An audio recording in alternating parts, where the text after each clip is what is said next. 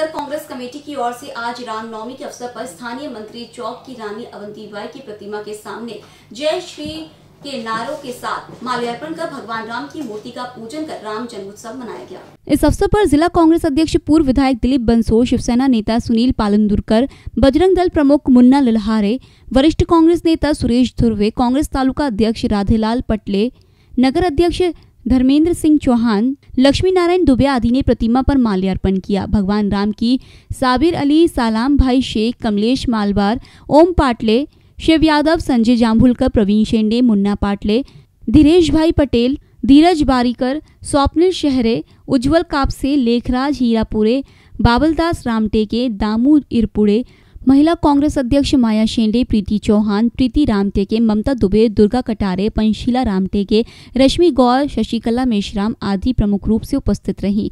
तत्पश्चात सभी नागरिकों को महाप्रसाद वितरित कर राम जन्मोत्सव का समापन किया गया। तिरोड़ा से बीसीएन न्यूज़ के लिए स्वप्निल सहारे की रिपोर्ट।